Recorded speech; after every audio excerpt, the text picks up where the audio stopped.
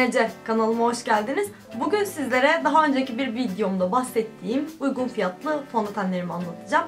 Ben tekrar tekrar tekrar söylüyorum. Bir makyaj artisti ya da makyaj gurusu değilim. Sadece makyaj yapmayı çok seven, buna deliler gibi para harcayan, aslında uygun fiyatlı aldığını sanıp bir şeyden 20 tane alıp aslında hiç uygun bir fiyat almayan anlayacağınız sizler gibi bir makyaj bağımlısı. Bunları size elimden geldiği kadar anlatmayı, yorumlamaya çalışacağım. Neden kullanmadığımı, neden kullandığımı, nesini sevdiğimi ve benzeri. Neyse ben lafı daha fazla uzatmadan o zaman hemen geçeyim. İlk olarak en çok sevdiğimle başlamak istiyorum.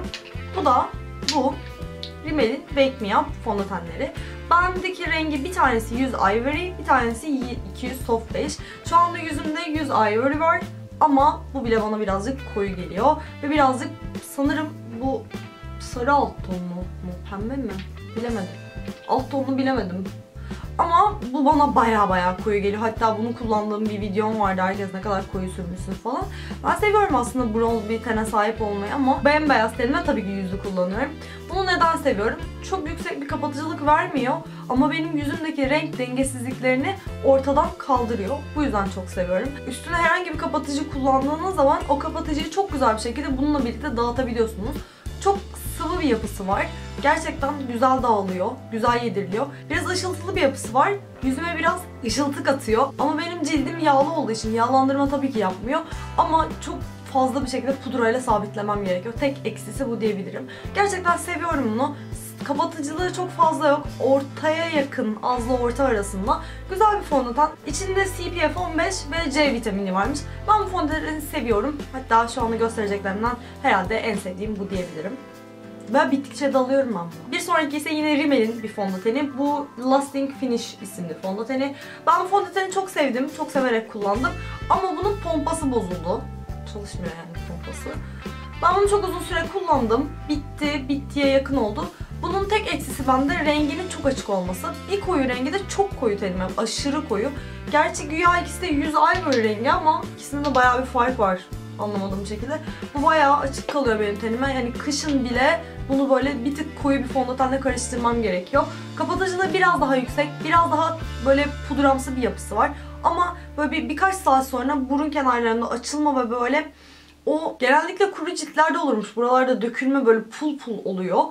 Bu onu yapıyor bende anlamadığım bir şekilde neden bilmiyorum. Ama yine de sevdim ben bunu böyle 3-4 saatlik kullanımlar için güzel bir fondötendi. Bir sonraki ise Max Factor'ın Lasting Performance isimli bir fondöteni. Bu fondöten çok eski. Ben bunu artık atmalıyım herhalde. Bir yıldan fazladır bende duruyor.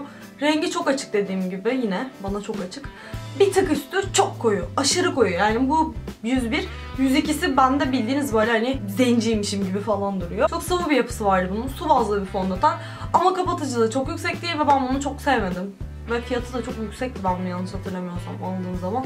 Çok da sevmedim. Onun yerine Rimmel'in Wake Me Up'ını kullanmayı tercih ederim. Işıltılı bir yapısı yok. Dümdüz bir fondöten sadece bu. Bir sonraki ise Maybelline'in bu Affinton isimli fondöteni. Bunu su bazlı diye aldım ben. Su bazlı fondötenler yüzümde benim daha güzel duruyor çünkü yağlı bir cildim var. Ama bu da bende çok açık durdu ve 3 samt beige rengi. Yani çok açık durdu. Dördü çok koyu, ikisi çok alakasız. Biri zaten yok. Hani sev, sevmedim değil, güzel bir fondöten ama çok sıvı bir yapısı var. Ona rağmen dağıtması çok zordu benim için bu fondöteni. Çok da severek kullanamadım. Hatta çok az kullandım ben buradaki. Arada bir yine elim gidiyor ama dediğim gibi çok da sevmedim. Yapısı çok böyle, yapısı böyle. Ya bilmiyorum işte çok da sevmedim ben bunu. Aşırı güzel bir fondöten değil açıkçası. Bir sonraki yine uygun fiyatlı sayılabilecek fondötenim ise bu L'Oreal'in Infallible fondöteni. Infallible mat fondöteni. Ben mat fondötenleri kullanmayı seviyorum. Hala da çok seviyorum. Bunu da severek kullanıyorum. Ama dediğim gibi o anlattığım pul pul açılıp dökülme olayı var ya şuralarda, şuralarda. Ne kadar nemlendirirsem nemlendireyim birkaç saat sonra bunda sürekli açılıyor oralar. Yani nemlendirsem de üstüne bas sürsem de Yine de açılma yapıyor ama duruşu çok güzel. Çok pürüzsüz bir duruşu var. Rengini sevdim ama bana bir tık açık. Bir koyusu çok koyu. Bir arası açığı zaten olmaz. Yani dediğim gibi bu da bana birazcık açık geldi. Ama ben bunu çok sevdim. Yapısı çok güzel. Kapatıcılığı çok güzel. Matlığı çok güzel. Dokusu böyle çok yumuşacık. Ben severek kullandım bunu. Tavsiye edebilirim bunu. Yağlı ciltler için fena olmayacak bir fondöten.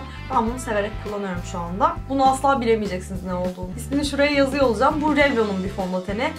Tam olarak adını hatırlamıyorum. Ben o fondöteni kırdım. Kırınca da hani boşa gitmesin diye yani yanında çatlak oluyor akıyordu. Boşa gitmesin diye şöyle bir kabın içine koydum. Bayağı da var içinde yani yarısından çoğu dolu. Bu çok güzel bir fondöten. Yağlı ciltler için inanılmaz güzel bir fondöten. Sabitlenmeden bile kullanabiliyorsunuz. Yapısı birazcık yoğun. Kapatıcılığı çok yüksek. Yani ben kapatıcılığı yüksek fondötenleri seviyorum ama yani şu fondötenin kapatıcılığı az olmasına rağmen benim için önemli olan şuradaki kırmızılıklarımı dengeliyor olabilmesi. O yüzden bu da güzel bir fondöten. Bunu da severek kullandım. Yağlı ciltler için güzel. Önerebileceğim bir fondöten. Bu kapta oluş perik elim gitmiyor ama onun kendi kabından daha kullanışlı bir kap oldu. Çünkü onun hiçbir pompası bir şeyi hiçbir şey yok. Böyle dökmeniz gerekiyor. Fazla dökülüyor falan. Bu benim için biraz daha mantıklı oldu aslında böyle bir kapta kullanmam. Rimmel'in bu Stay Matte isimli fondöteni var. Bu da 100 Ivory rengi. Bu böyle muz şeklinde bir yapısı var. Böyle köpük köpük bir yapısı var. Çok mat duruyor. Yani bunu ben yağlı cildimde bile çok çok mat duruyor. Böyle kalıp gibi duruyor biraz ama çok yoğun kapatıcılık isteyenler için güzel bir ürün ve güzel dağılıyor. Ona rağmen çok güzel dağılıyor. Ben bunu çok severek kullanıyordum ama bu da tabii ki pembe alt tonlu bir fondöten olduğu için çok fazla kullanamıyorum. Buradan böyle pembe. Boynuma dağıtsam bile o iz belli oluyor ya o şuradaki şu iz oluyordu yani yapacak bir şey yok. O yüzden ben bunu seviyorum ama keşke artık böyle sarı alt tonlu fondötenler bile çıkartsalar uygun fiyatlı değil mi? Sıra geldi BB ve CC kremleri. Aslında fondöten skalasında sayabileceğimiz ürünler. Ben birçok BB kremi kullandım. Memnun kaldım. Yaz aylarına genel olarak kullanıyorum ve şu anda elimde bir BB krem kalmadı. Yaza doğru alacağım tekrar. Ama Garnier'inkini çok severek kullanıyorum. Çok güzel oluyor onun BB kremleri. Şu anda elimde bir tane CC krem var. İnanın bana BB kremle CC kremin arasındaki farkın, tek farkın CC kremin daha kapatıcı olduğunu biliyorum. Ama bu Pure Beauty'nin CC kremini ben yüzümde kullandım. Bayağı kullandım. Ve bana çok koyu bu. Yazın sadece kullanabilirim. Aşırı koyu bir rengi var. Onun dışında yapısı hafif. Güzel bir yapısı var. Elinizle uygulayabiliyorsunuz. Rahat rahat dağıtabiliyorsunuz. Bir CC krem hani ne işe yarıyorsa, bir BB kremde ne işe yarıyorsa o işe yarıyor. Ben bunu bayağı severek kullanıyorum. Yaz aylarında elimden düşürmediğim bir şey. Aslında Pure Beauty'nin ürünlerine birazcık ben ön yargılıyım.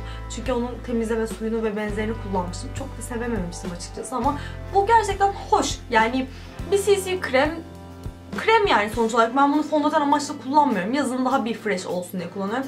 Ama dediğim gibi şu anda bunun rengi benim cildime koyu kat kat kat kat ve kat koyu. Benim yazın yandığım zaman her beyaz tenli gibi ben kırmızıya dönüşüyorum. Zaten bronz olamıyorum. Hani kahverengi mi o da ne falan diye dolaşıyorum. O yüzden o kırmızının üstüne bunu sürdüğüm zaman cildim biraz daha böyle bronzmuş gibi duruyor. En azından yüzüm yani. O yüzden bunu kullanıyorum yaz aylarında. Güzel oluyor. Sıra geldi son ürünüme. Bu Dream Fresh isimli Maybelline'in BB kremi. Ben bu BB kremi kullanmıyorum. Çünkü elim hiç gitmiyor. Zaten bir sürü fondötenim var. Artı bir de bu pembe alt tonlu bir fondöten. O yüzden yani BB krem pembe alt tonlu. Zaten hani her şey pembe alt tonlu. Buradaki saydığımlarımın birçoğu pembe alt tonlu zaten. O yüzden birçoğunu kullanmayıp yeni fondöten arayışına giriyorum. Ama bu bayağı pembe alt tonlu. Çok cıvık bir yapısı var. Sürüp sürmediğiniz bile belli olmuyor. Ama böyle güzel fresh bir görüntü yaratmak istiyorsanız eğer bir bakın. Ama ben sevmiyorum bunu açıkçası. Çok sevmiyorum. Benim uygun fiyatlı fondötenlerim bu şekildeydi. Elimden geldiği kadar anlatmaya ve yorumlamaya çalıştım. Unuttuğum bir nokta olabilir. Lütfen bana bunu aşağı yorum olarak bırakın.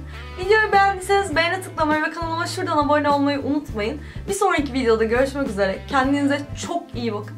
Hoşçakalın. Yapısı, kokusu, ta- tadı. Yedim ben bunu. Fondöten. Allah! Kırıldı mı? Üf nasıl düştü? Bu saçı ya ben en sonu şu önü şöyle kazıtacağım. Bye canısa.